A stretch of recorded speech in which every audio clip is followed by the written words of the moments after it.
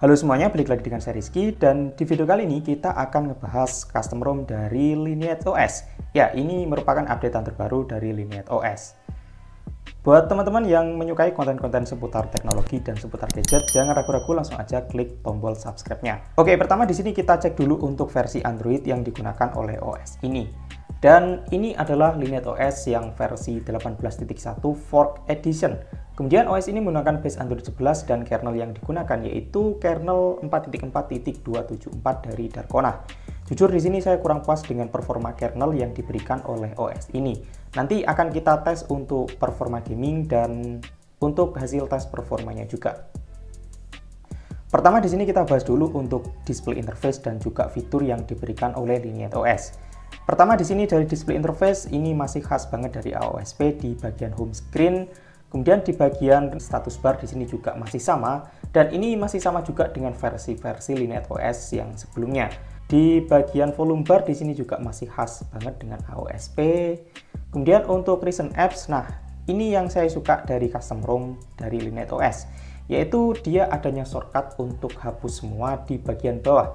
Jadi kita tidak perlu men-scroll di paling kiri untuk hapus semua recent apps atau clear all-nya kita tinggal tap aja di bagian sini. Ini menurut saya mempermudah. Dan sayangnya di OS ini tidak tersedia untuk fitur kustomisasi khusus. Di sini di bagian tampilan kita bisa men-setting sedikit aja sih. Di sini terdapat gaya dan wallpaper, kemudian kita dapat mengubah font, layar kunci, dan di sini ada quick setting, ada sedikit settingan yang dapat kita lakukan. Kemudian kita masuk di bagian sistem, di sini juga ada sedikit settingan untuk mengcustom sedikit dari display interface HP kita. Di sini terdapat tombol ya, di sini kita bisa mengotak-ngatiknya untuk tindakan menekan tombol home itu akan ke mana dan tombol menu itu akan ke mana. Kemudian di profil sistem di sini ada mobil senyap dan standar. Ada status bar juga di sini kita dapat merubah di bagian status bar. Namun di sini cuma ada settingan-settingan basic aja ya seperti merubah icon, kemudian posisi jam, merubah gaya baterai dan menampilkan presentasi baterai. Di sini kita tidak bisa melakukan kustomisasi seperti menambahkan gambar di bagian quick setting dan settingan-settingan advance lainnya. Oke, itu aja sih yang diberikan oleh OS ini guys. Kemudian di tab dan tahan di bagian home screen, di sini juga ada tiga shortcut, ada style layer utama, kemudian ada widget, dan ada gaya dan wallpaper. Kita intip di bagian wallpaper, di sini cuma tersedia beberapa wallpaper aja, dan menurut saya ini jelek-jelek sih untuk gaya wallpapernya. Dan seperti OS lain, di sini ada gaya, peta, dan jam. Yang saya suka ini ada di clock style-nya. Di sini ada banyak banget pilihan untuk clock style-nya guys. Oke, dan lanjut kita bahas untuk performa yang diberikan oleh OS ini. Biasanya Lineage OS itu terkenal dengan performa yang kencang. Dan tadi saya sudah tes performa, langsung aja kita cek untuk hasil tesnya. Oke, di sini saya tes dengan GPU benchmark dan OS ini mendapatkan skor yang cukup, yaitu di 433.200. Kedua, saya tes dengan menggunakan CPU throttling dan ini hasilnya. Kita bisa lihat di bagian grafik performanya, ini tidak bagus ya. Pertama di sini dia tinggi, namun di beberapa menit berikutnya performanya itu ngedrop guys. Performanya turun, kemudian naik sebentar dan turun lagi. Kita lihat di bagian hasil performanya maksimal ada di 121,401 gips, rata-rata ada di 101,976 gips, dan performa minimalnya itu ada di 89,351 gips. Ini performa yang jelek menurut saya karena di minimalnya ini ada di bawah 100 dan tadi saya sempat menemukan adanya force close di beberapa aplikasi. Salah satunya di aplikasi Geekbench 5. Saya menemukan beberapa force close guys.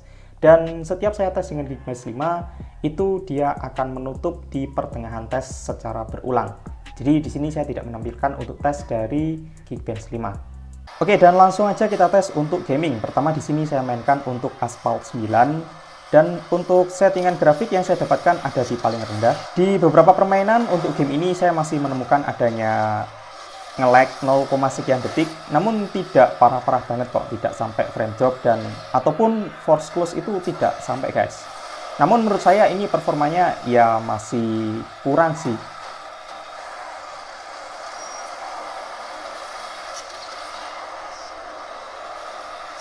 Lanjut untuk bermain PUBG Mobile ini masih sama aja dengan Asphalt 9. Saya masih menemukan adanya nge-lag di beberapa momen. Namun masih wajar sih nge-lagnya cuma 0, sekian detik aja guys. Aku nggak tahu kenapa di Lineage OS versi ini saya ngerasain kayak ada penurunan performa aja guys. Tidak seperti di Lineage OS yang versi sebelumnya.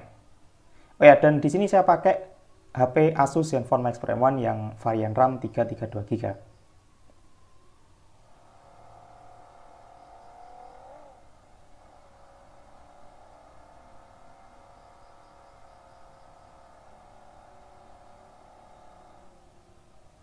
Oke, dan itu untuk performa gamingnya di versi ini saya ngerasain agak kurang aja untuk performa gamingnya dan ya tidak sesuai dengan ekspektasi saya yang saya harapkan dari Lineage OS itu performanya biasanya itu bagus. Namun di versi ini kayak agak kurang aja guys. Lanjut kita bahas untuk performa speaker yang diberikan oleh OS ini. Dan ini merupakan salah satu poin yang saya suka dari OS ini yaitu untuk kualitas audio speakernya itu cukup bagus. Ya, mengingat ini menggunakan base Android 11, OS ini memberikan performa speaker yang pas untuk bassnya pas, dan saat kita pakai di volume penuh, ini juga masih oke, okay, tidak ada performa yang pecah.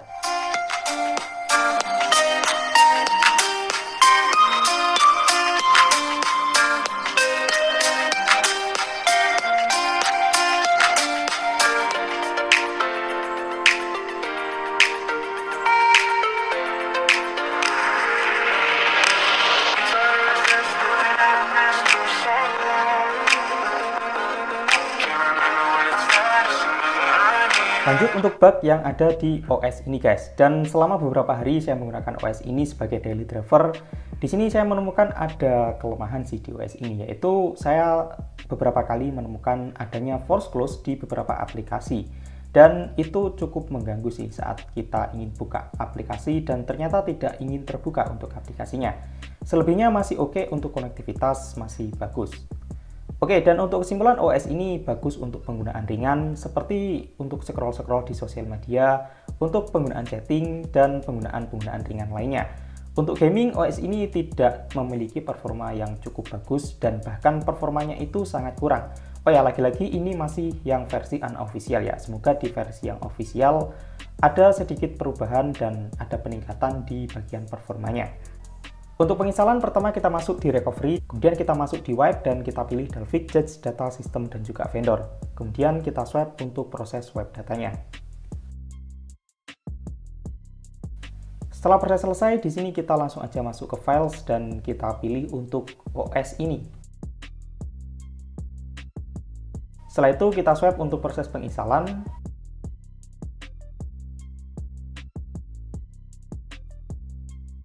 Setelah proses penginstalan selesai, di sini kita kembali lagi ke file dan kita install Gaps karena yang saya install ini yang versi vanilla.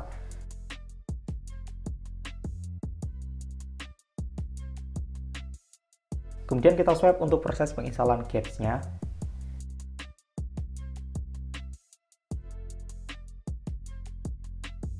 Dan setelah proses penginstalan selesai, kita bisa langsung pilih reboot system dan kita tunggu hingga masuk ke OS kita guys.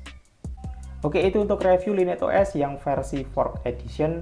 Kalau kalian suka dengan video ini, klik tombol like-nya. Kalau tidak suka, klik tombol dislike-nya. Dan sampai jumpa di video selanjutnya.